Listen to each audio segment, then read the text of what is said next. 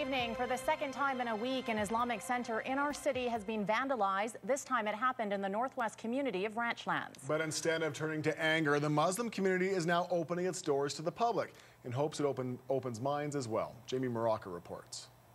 On Saturday, just before morning prayer, attendees at this Ranchlands mosque noticed shards of glass, a broken window, and a sign thrown on the ground.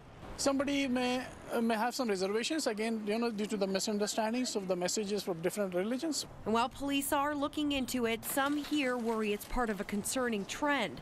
Just over a week ago, an Islamic center in Queensland was also vandalized. Outside smashed glass, inside a burnt Quran. Investigators are looking at a number of hate crime charges.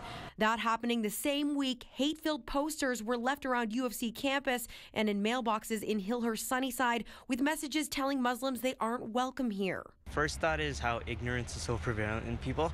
At just 15 years old, Ali Wasim says he's been on the receiving end of that ignorance many times. In grade 9, which was last year for me, every single day I was called a terrorist at school.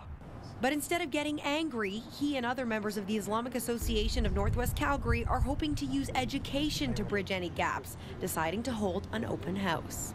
Just trying to get people away from that mindset where Islam equals terrorism. It is a religion of peace, and like how our society these days, they um, they incorporate uh, terrorists and Muslims, and I feel like that's not right. The end game is that we all need to talk, and we all need to live together. You know, there's no place for hate amongst anyone here.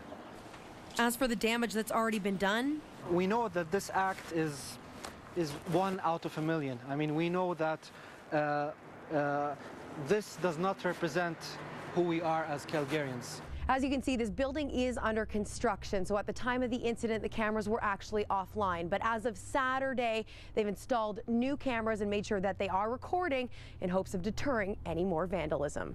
Jamie Mauracher, CTV News, Calgary.